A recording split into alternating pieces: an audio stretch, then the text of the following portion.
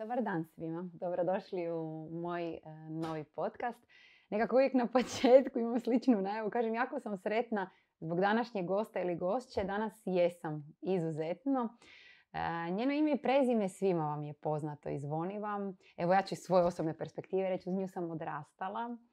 Kao malena, malena sam je slušala i gledala na ekranu. Onda je bila jedna pauza, nisam je vidjela, čula. Onda sam počela raditi i bila jedna prilika gdje smo radile, snimale. I tom prilikom, prvom prilikom mi je ušla u srce. Kako, zašto, otkrićemo vam kroz razgovor. Danas je sa mnom u društvu Ivana Plehinger, Dobar ti dan, dobro mi došla. Sad ovo, kad kažeš bila sam jako mala, mala, mala, kad se, onda sad očekuje čovjek ovdje nekog stvarno onako ko će se, ko, kom treba gebis, kužiš, a ono ja. Ono. Tako da hvala ti na ovoj, na ovoj najavi. Kvaka je zapravo u tome da smo i ti i ja jako rano počele raditi to što volimo. Da. I uh, odmah sad ću te, uh, sad ću te odmah zboksat s nečim što sam ti donijela. Da, znaš zašto? Da u mojim godinama ovima, da slučajno ne bi zaboravila, razumiješ? Evo vidi, donijela sam ti jednu šalicu. Sjeti se da si se za, zaboravila. A, dakle, to je jedna rečenica koju jako vole ljudi koji ovaj, me prate po raznim društvenim mrežama i kad sam tu rečenicu napisala, svi su govorili, ja, to bi se trebalo sjetiti svaki dan.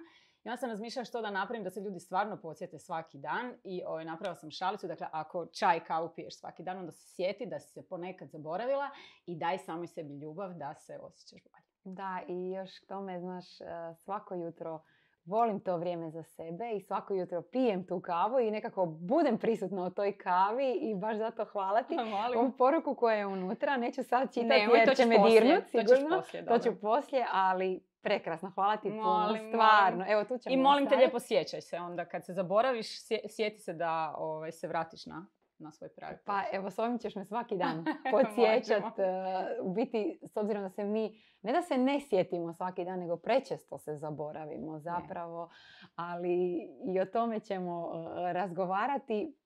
Hvala ti puno. Molim, molim. E, to je tvoj drugi poklon koji sam dobila. Ovaj tu sam progutala, doslovno. Ove ćeš isto gutat, ali, ali stvari iz njega ćeš gutat. Da. A ova knjiga se može progutat, da. Da, ovu knjigu si mi poklonila kad smo imali taj svoj susret. Ne. Prije jedno dvije godine. Sad smo pokušavala detektirati kad je to bilo, šta je bilo. I mislim da sad ponovo vrijeme da je ponovo čitam i mislim da ću opet progutat na drugačiji način, jer uh, nekako drugo stanje svijesti imam uh, trenutno u odnosu na možda tad kad sam je e, čitala tvoj bestseller, e, ja sam htjela krenuti ono Ivana Plehinger, e, voditeljica, radijska televizijska glazbenica, spisateljica, ali onda zapravo nešto što mi je jako, jako ostalo kad sam čitala neke stvari, no ono što si najponosnija, mama. Da, ja sam mama. Ja sam, ja sam mama i mislim da taj nekakav majčinski osjećaj iz mene ide za sve one ljude koje volim ovaj, e, ne samo za, za moju djecu I, i to mi je najljepše kad mi ljudi pišu ovaj, e, osjećam se kao tvoja prijateljica ili kao da mi majka nešto govori. Tak. To je jako lijepi, jako lijepi osjećaj i s obzirom na to da sam ja odrastala veliki dio svog života bez mame, e, to mi je onako jako lijepi kompliment. Dakle, u redu je. mogu ti biti mama. Sad po godinama možda ne, ali dobro. Da. Hvala. E, htjela sam reći da, da sam odrastala uz tebe, da ti si zaista jako, jako rano počela, ne možemo ne zaboraviti Hugo i tvoje lice i baš nekako kad sam pisala da mi dolaziš u goste, e, mislila sam ta pitanja ostaviti za kraj i hoću, ali moram svakako e, se dotaknuti te etape života, te dječje radoznalosti, tebe kad si u tom trenutku bila u jednoj od najgledanijih dječjih. Da, ta najgledanija dječja emisija, da emisija, mm. sada kad pogledaš unatrag na ta vremena, iz ove jedne perspektive, onu Ivanu tamo, kakvi su ti osjećaji? Pa znaš šta, samo radost, ja sam to toliko voljela i e, mislim da su e, ljudi osjećali koliko ja to volim. E, jako mi je to obilježilo život. danas kada gledam sve što sam ja kroz moj život radila, dovelo me kao ovome što radim sada imam osjećaj da sam tada bila stavljena na jedno tako jako vidljivo mjesto da ljudi me doista upoznaju, da vide kakva sam osoba. Ne možeš ti program uživo s djecom lažirati ono što jesi. I mislim da mi je to zapravo dalo jedno jako dobro uporište da e, mi ljudi vjeruju kada pričam o tome što sam proživjela i kako sam preživjela to što sam proživjela, zato što imaju osjećaj da me poznaju. I poznaju me, tako da evo, sve me vodilo ka tome, a ta vremena su za mene bila jako uzbudljiva. Nažalost, veliku većinu toga sam zaboravila jer je bilo toliko sadržajno. Znaš, onako previše ljudi sam upoznala, Mm. previše toga se događalo. Ja sam u to vrijeme aktivno i pjevala. Mhm. Tako da ovaj, se nažalost dogodi jako često da mi prilaze ljudi ovaj, kojih se ne mogu sjetiti. Da, Previše mi je toga bilo jednostavno. da. A kad si, u kojem trenutku si shvatila da moraš postati prisutna, da sve to što se događa ispred tebe zapravo, da sve to trebaš na neki način zaustaviti. Jer evo ja se često znam naći u situaciji da baš sad si spomenula puno toga sadržajnoga i jako puno toga se događa i nekad imaš osjećaj da doslovno film ispred tebe ide, tvoj film, a ti ga ne doživljavaš i ne osjećaš. Znaš što, možda negdje na početku 30-ih da sam imala osjećaj da sam se cijeli život trudila postati netko, a da sada taj netko više nisam ja.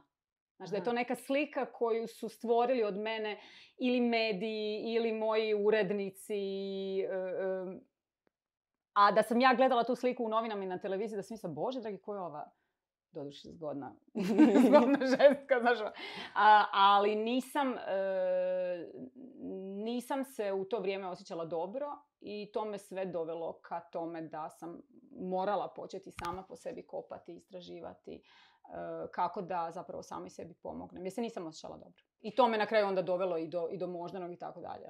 Ali mm, taj naš šašavi posao je posao u kojem, e, znači onako, to je kao lakmus papir za budale, evo moram sad reći. Znači ono, stavite nekog u fokus da bude jako slavan i ako ima šanse da postane glupson, postaće.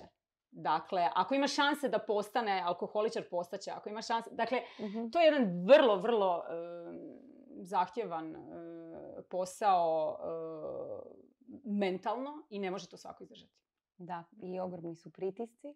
Je, i ako nisi stabilan, da. već krenuo u sve to što ti se događa, gotovo. Pa mislim zato čitate sve te stvari koje čitate o ljudima koji su slavni. Međutim, u današnje vrijeme to je još zahtjevnije zato što je danas dovoljno pojaviti se samo u jednoj emisiji u kojoj se od e, tvog talenta radi show i nakon tri mjeseca te se zaboravi i ti ostaneš u tom nekom zrakopraznom prostoru u kojem te poznaje i mesar i tvoj, nemam pojma, susjed koji živi pet ulica dalje. Svi te poznaju, a nemaš od toga nikakve materijalne koristi, ne možeš živjeti od toga i onda ti ljudi pucaju jako. Dakle, to, to se sada još i više događa nego u vrijeme kad sam e, ja s tim počinjala, kad si stvarno morao biti biti vrijedan Mhm. da bi e, mediji izvještavali o tebi. Tako je.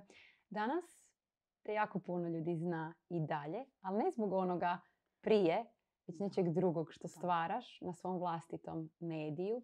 Na kraju kraja što si stvorila ovdje. E, međutim, ti si krenula sa ovim da bi sebe izliječila. Da, počela I sam pomogla pisati da si sebi, jel tako? da. A pomogla si strašno puno ljudi. To, to tako uvijek mi bude malo neugodno. Ali to je tako. Zato što zaista, ja sam e, knjigu Ono što ostaje uvijek ljubav je počela pisati u trenutku u, kojeg, u kojem je s moga, e, e, moj tata s ovog svijeta otišao na jedan vrlo traumatičan način preko noći na mojim rukama, a sve je s njim bilo prije toga u redu. Dakle, vrlo, vrlo je to bilo šokantno i zapravo e, e, dogodila se čudna neka stvar da sam ja stalno čula rečenicu e, piši, bit će ti lakše i nisam znala zašto bi ja to trebala pisati, ali sam se srećom odazvala tom glasu i počela sam pisati.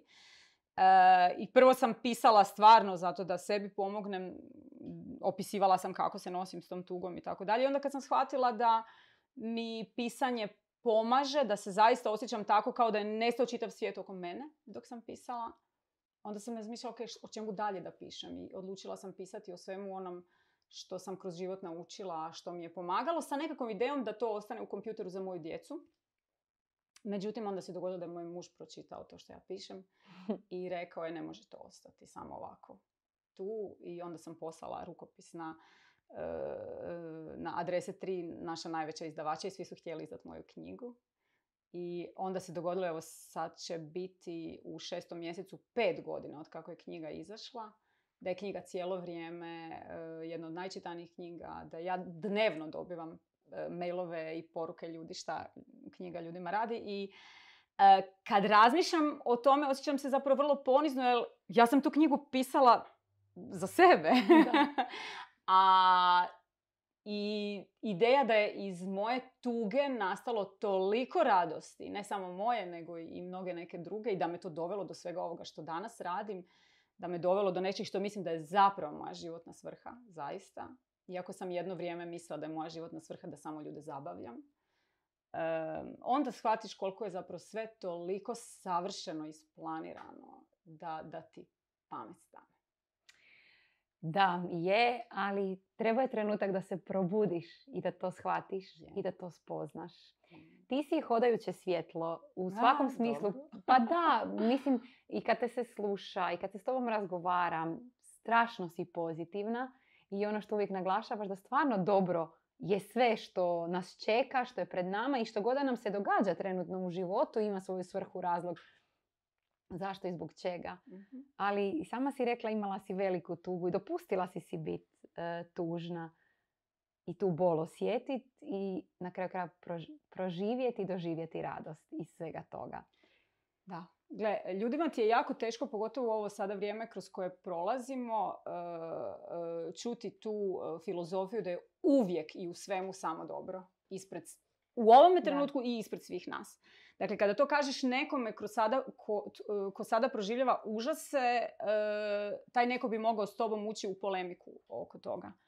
Međutim, ako sada, e, dakle, ja sam gledajući sve svoje e, teškoće koje sam prošla u životu, a za one, ne znam, koji ne znam, meni je 12 godina umrla mama, sa 39 godina imala sam moždani udar, kad sam imala 41, dakle, umro mi je tata na rukama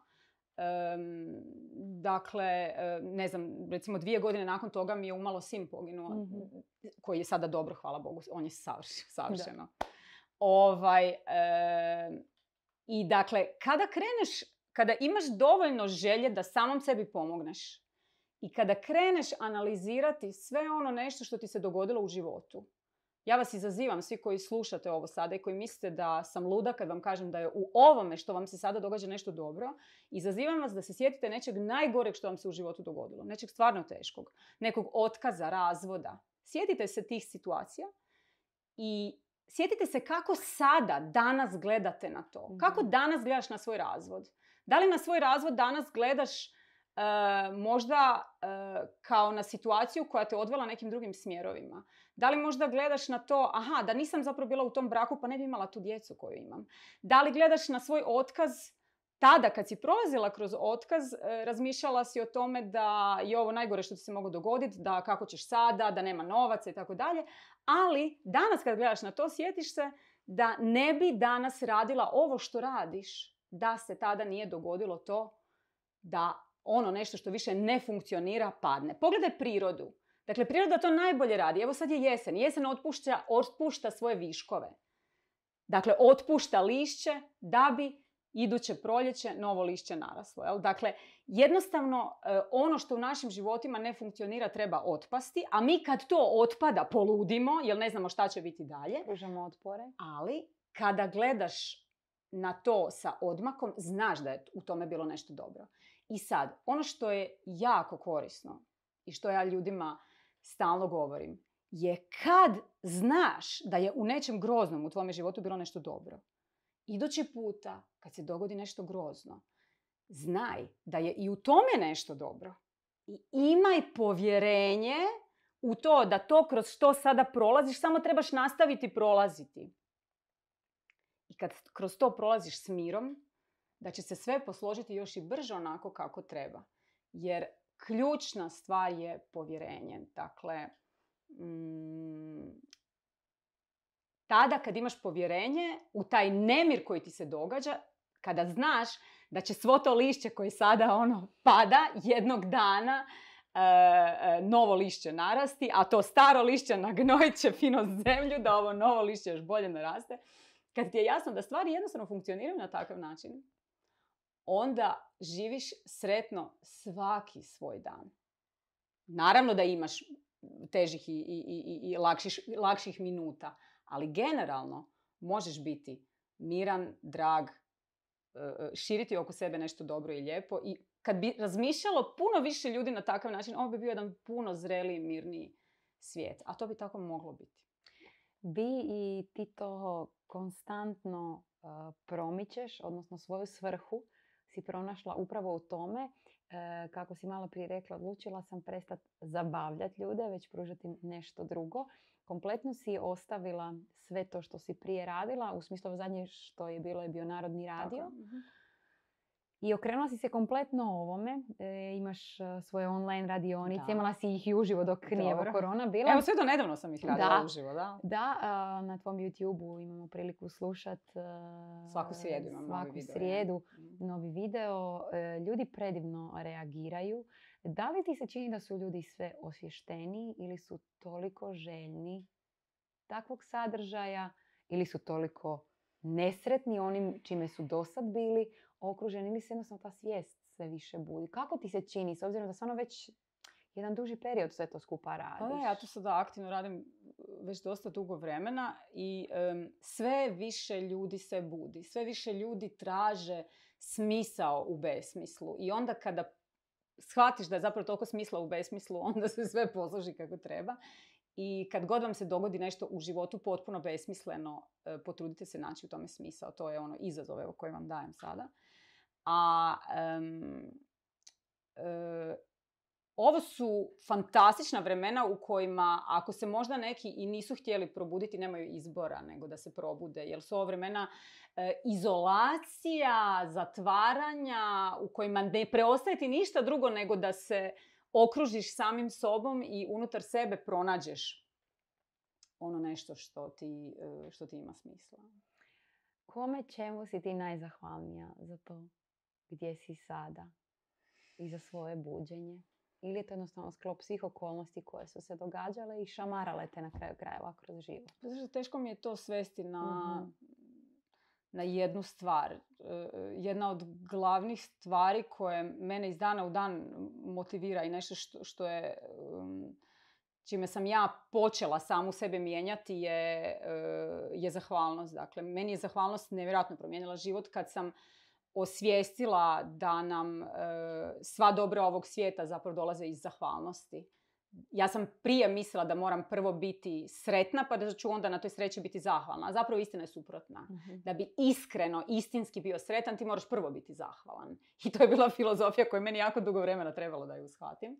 Ali kad sam ju počela e, primjenjivati dnevno, onda shvatiš da je u svemu prilika za zahvalnost i da kad naučimo biti zahvalni na najtežim stvarima koje su nam se dogodile, da, a ima, vjerovali ili ne, prilike za zahvalnosti i u svim vašim grozotama, jer one su vas dovele do osobe kakva želite postati.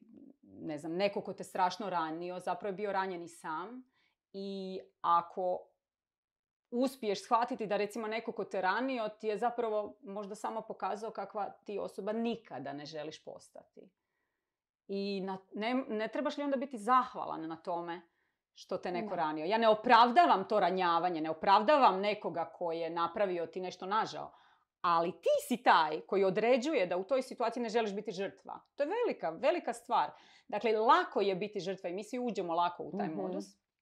Ali kad odlučiš da, da, da, da želiš e, vladati samim sobom i ne biti žrtva, nego okrenuti recimo perspektivu na to pa reći pa znaš šta pa hvala ti što si me ovaj, gnjavio i maltretirao jer ja nikada to neću raditi nikome oko sebe, to što si ti meni mm. pokazao da je tvoj nekakav modus.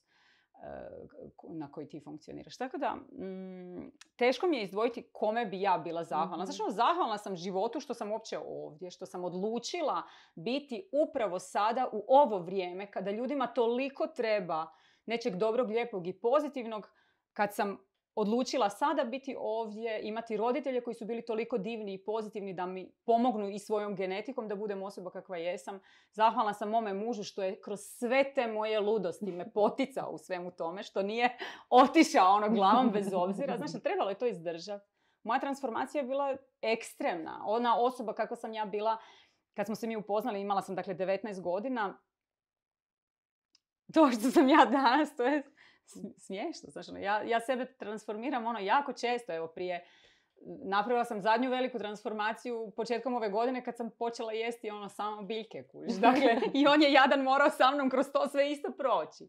I to sve skupa na kraju odlučio i prihvatiti. Tako, uglavnom, jako sam zahvalna. Evo, recimo, ako moram ipak nešto svesti na, na jednu stvar, zahvalna sam mome, e, mome mužu koji sve te moje e, ludosti i transformacije e, prati. Ne samo da ih prati, nego je na njih ponosan i zahvalna sam na tome što smo se zajedno mijenjali u svemu tome i što smo se zaista trudili oboje iz dana u dan biti bolji ljudi od ono kako smo bili jučer i mislim da smo stvarno daleko došli.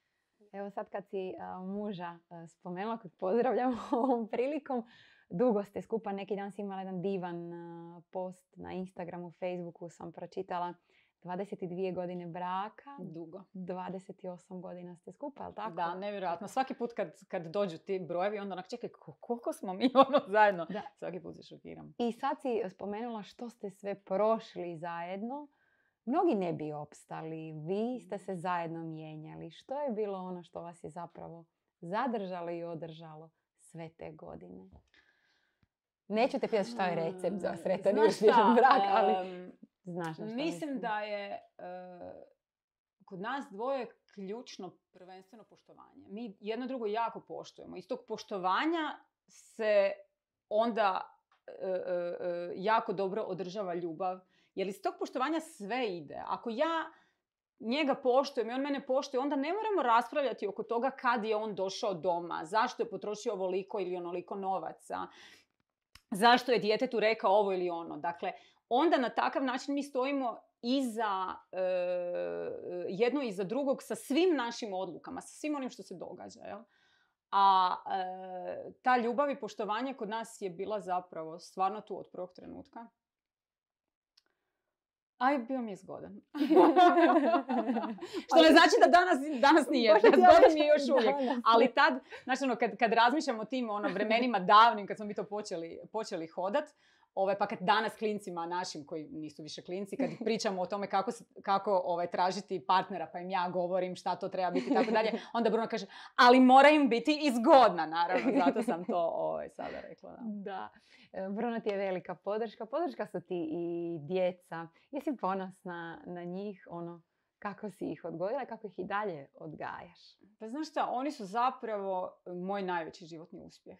Uz sve, puno sam toga u životu napravila, ali ali to kakvi su oni mladići, e, to je moj najveći uspjeh. Dakle, e, ne samo to što su stvarno su ono, talentirani, dragi, rade to što vole. Moj stariji sin dakle, studira glumu i lutkarstvo u Osijeku, e, Jan, a, a mlađi sin se evo, priprema iduću godinu na prijemni iz kompozicije u, ovaj, u, Zagrebu. Dakle, onako svaki u nekom svom svijetu, jako se vole, ali sve to u, u Dakle, oni se razvijaju u, u krasne, sretne, mirne mladiće, a Bruno i ja stojimo sa strane i to promatramo. Dakle, ja stvarno nemam dojam da sam ja tu previše nešto intervenirala, znaš.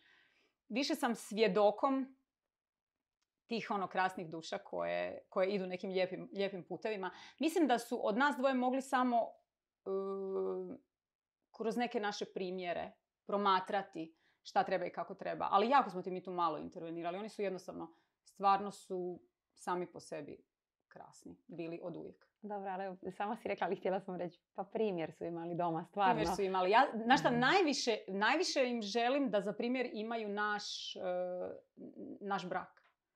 Jer uh, znam da smo i Bruno i ja iz primjera naših roditelja kako su naši roditelji jedni s drugima bili krasni. Doduše, moji roditelji, nažalost, jako kratko, jer je mama umrla kad sam imala samo 12 godina, ali ja pamtim ljubav mojih roditelja kao nešto što moram u životu naći. O tome sam zapravo u knjizi pisala.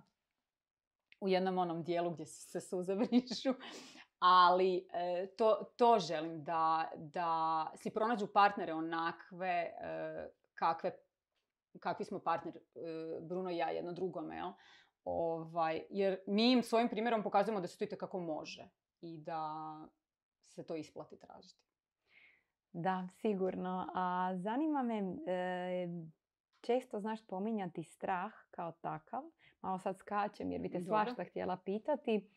Kako možemo djelovati iz straha, možemo djelovati iz ljubavi. mm Nedavno si imala jedan video, sad ne znam ili sam ja naletila na taj, mhm. ali baš upravo o tome koliki neprijatelj nam je taj isti strah i nekako mislim da je zapravo sve nešto i krivo pod navodnike šta radimo, upravo iz tog nekog osjećaja radimo. Pa vjerujem da i one koji nas slušaju upravo zanima na koji način, iako to mogu slušajući, čitajući, to trebaju sami sa sobom prepoznati i odlučiti, taj isti strah maknuti svog života i kako ti djeluješ svaki put iz ljubavi i taj strah makneš. A, a neminovno sigurno ti se pojavljuje isto tako. Pa naravno, svima se pojavljuje zato što, zato što smo ljudi. Dakle, sjetit ćete se, ne znam, i Isusa koji je imao ispad bijesa u hramu, jel?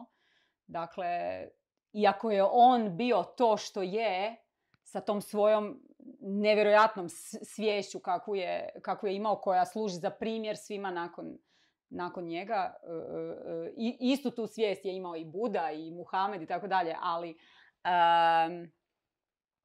pa smo, pa, pa postoji scena u kojoj je, u kojoj je poludio. Jel? Dakle, sigurna sam da bi ti Dalai Lama isto tako rekao da, da ima loših dana. Dakle, to je ljudski, to je ljudski. Ako si u ljudskom tijelu, e, normalno je da imaš loših dana. Normalno je da se bojiš kada pročitaš nekakve grozomorne e, natpise u novinama ali je važno e, da znamo što u trenutku, da, za početak važno je da znamo osvijestiti strah.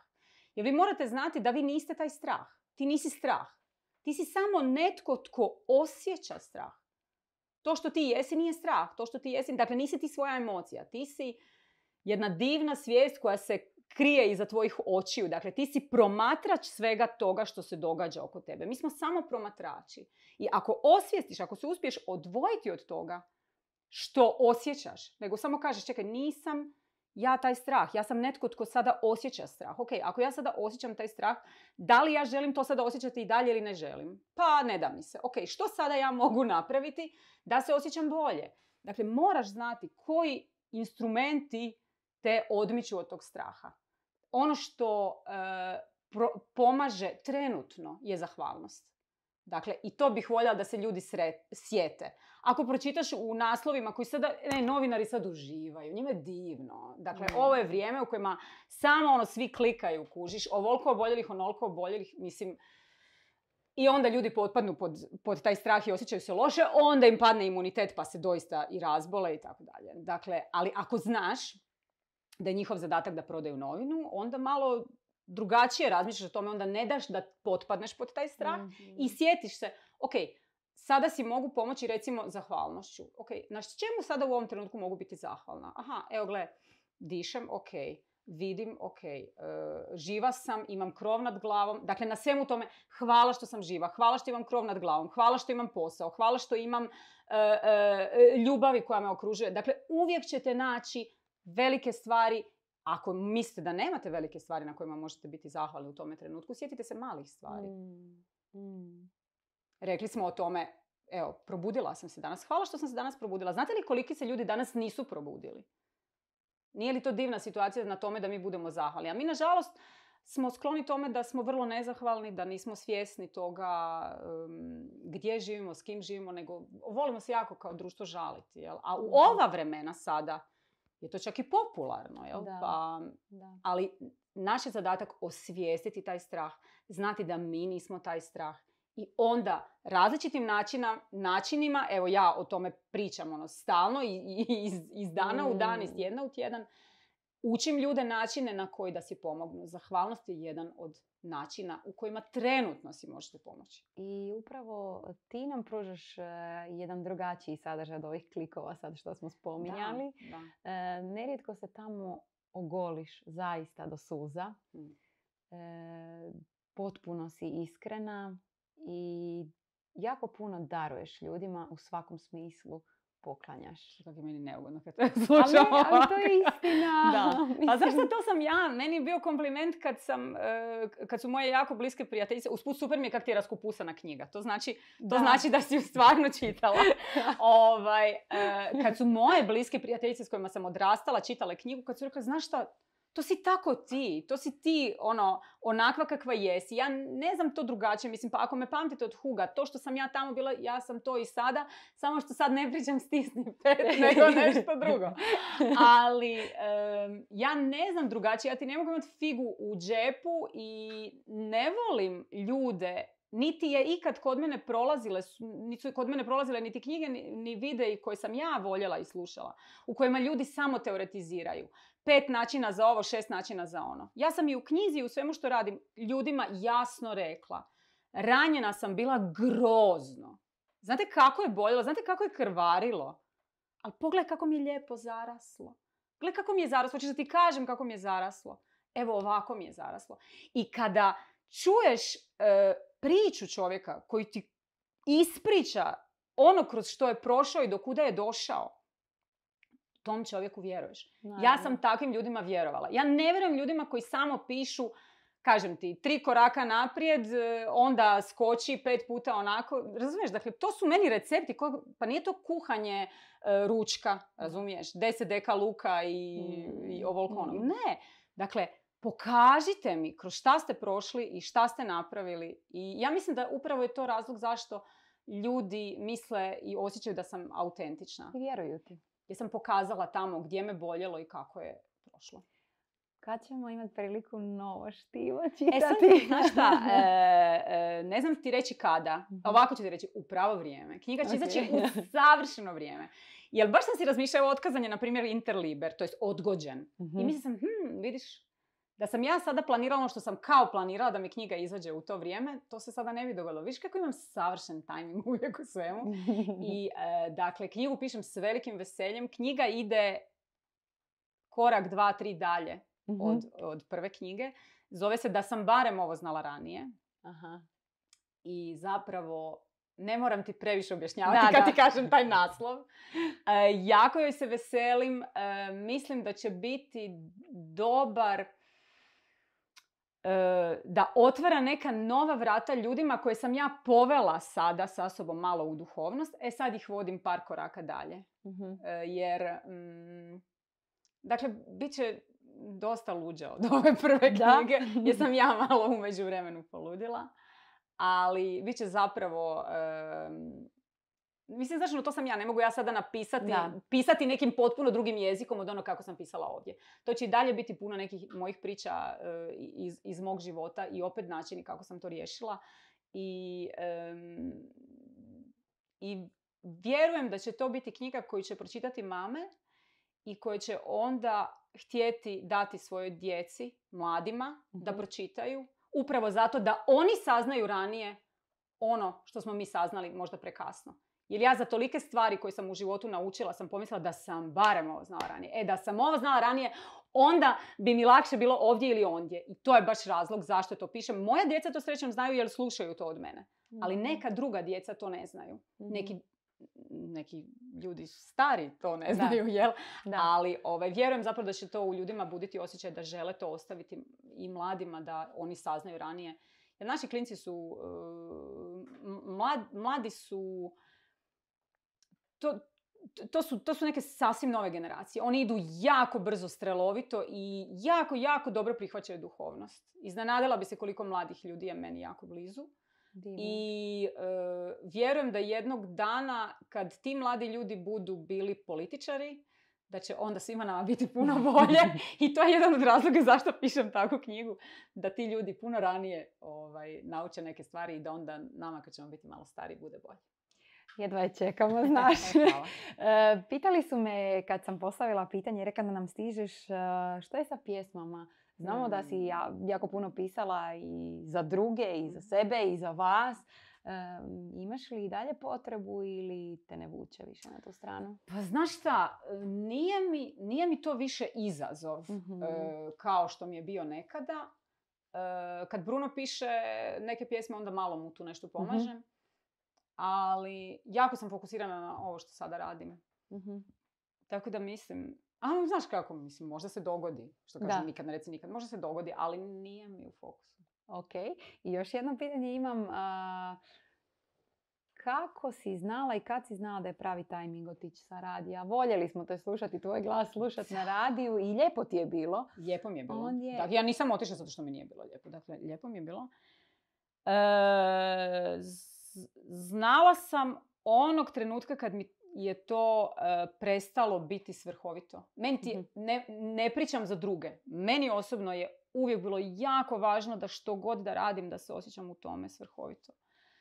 E, I onog časa kad sam shvatila da e, pišući, progovarajući, održavajući radionice i tako dalje, da, da ljudima dajem puno više od samo puke zabave i da je to toliko važnije i vrijednije da na to usmjerim svoje vrijeme, onda sam znala da je vrijeme da tom dijelu svog života kažem bok. I nije mi to bilo lako. I, em, ali sam bila stvarno počešćena što je e, moj e, direktor rekao da osjeća da odlazi velik du- dio duše narodnog sa mnom. I to mi je bio najveći kompliment. Jer je to to što sam ja željela davati u eter. Ja sam željela Mhm. davati svoju dušu. Na način da, kogod da mi se uključi u eter, da se osjeti bolje. Da, da, da osjeti tu nekakvu ono nadu i, i, i dobar osjećaj slušajući me. I to sam postigla i baš mi je bilo drago. I zato mislim da sam otišla u pravom trenutku jer em, musti dalje to ne bi imalo smisla pošto sam mislila da sam stvarno dala svoj maksimum i da je vrijeme da Mhm. dam nešto drugo. Što ti je sad izazov?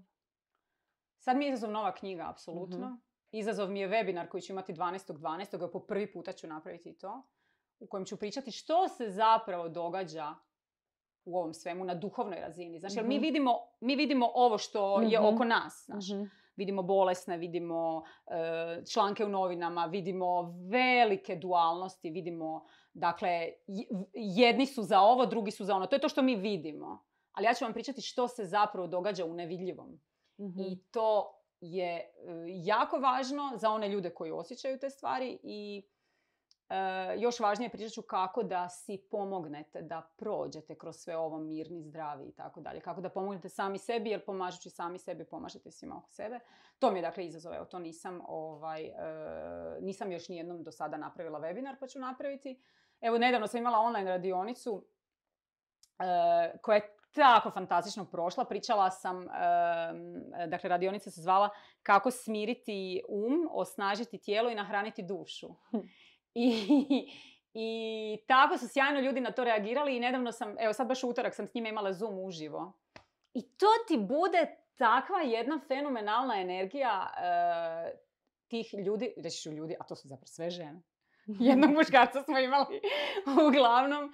E, takva divna ekipa da ja budem toliko počašćena, okružena tim šašavim ljudima koji vjeruju u to da je stvarno u ovome nešto dobro i da se stvarno e, e, e, tolike lijepe stvari događaju, još i više kad ih primjećujemo i presretna sam što je sve više takvih ljudi. Eto, to su mi izazovi. Izazov mi je svaki novi čovjek e, na kojeg mogu utjecati. Svaki novi čovjek. Znaš, dakle, onako, jedan, jedan po jedan kad vidiš da se ljudima širi svijest i da, i da su ljudi, mm, da imaju povjerenja u, u svoj život, u ono što je pred njima. To mi je, to mi je baš onako veliki, veliki izazov i, i plaća. Da, Neka nebeska od ozgora. vjerujem ti i srce puno. Je, je, da. Dakle, evo, to je razlog zašto više ne radim zabavu, jer je ovo nekako... Nikad se nisam osjećala ovako, znaš. Ja sam u životu doživjela i da mi izađe album, a kad izađe knjiga, onda je to jedna, po- jedna posebna rada, znaš. E, doživljavala sam pisma obožavatelja, ali kad ti neko napiše što je doživio slušajući e, neki moj rad, sada ove stvari koje radim, pa kad pričaju ljudi kako se mijenjaju, što su u svome životu napravili, dali otkaze, pokrenuli poslove i tako ej, to je onak neka, neka nova dimenzija skroz. Mhm. Nevjerojatna nagrada. Je, hvala. Hvala tebi što si došla, što si izdvojila vrijeme za nas, što si ispunila ovu cijelu prostoriju, a vjerujem i eter koji nas gleda i sluša predivnom energijom. i Hvala. što si inspiracija i hvala ti. Hvala tebi što, što radiš lijepe i vrijedne stvari, što širiš, e, što, što širiš dobrotu, što širiš svjetlo. Hvala ti što si mi dala priliku da, em, da onim ljudima koji su sada ovo morali slušati damo e, vjeru i nadu u to da je zapravo sve dobro i da je uvijek samo dobro ispred svih nas. I em, baš zbog tih ljudi, mada ih je samo i dvoje, mada je samo jedan, sam ja sretna što smo ovo nas dvije napravili. Ja sam isto tako. Eh, Hvala ti još jednom što si došla, što si na neki način eh, zapečatila i stavila točku na i na ovaj prostor, hvala. na, u moj dom, eh, gdje sam pokrenula u svoju podcast priču. Ako nam okolnosti budu dale, nakon evo, ovog snimanja se selimo u jedan drugi prostor. Bravo. A ako ne, onda nije vrijeme, nego će biti kad bude trebalo biti. E, Sretna sam što si sve ovo podijelila sa svima nama. E, Naravno, znate sve zapratite. Vi koji niste možda do sada, evo sad ste imali priliku čuti, zapratite Ivanu na e, Imam i na Facebooku, na Instagramu, YouTubeu, svuda. YouTubeu. Puno toga korisnog za svoje srce i dušu ćete imati priliku čuti, naučiti i osvijestiti. E, sigurna sam da se bacam ponovo na čitanje sad u novo vrijeme, da e, neke stvari ponovo osvijestim. Vas pozivam naravno da pratite kako Ivanu, naravno i kanal ako vam se sviđa, lajkate, šerate, subscribe se, sve znate.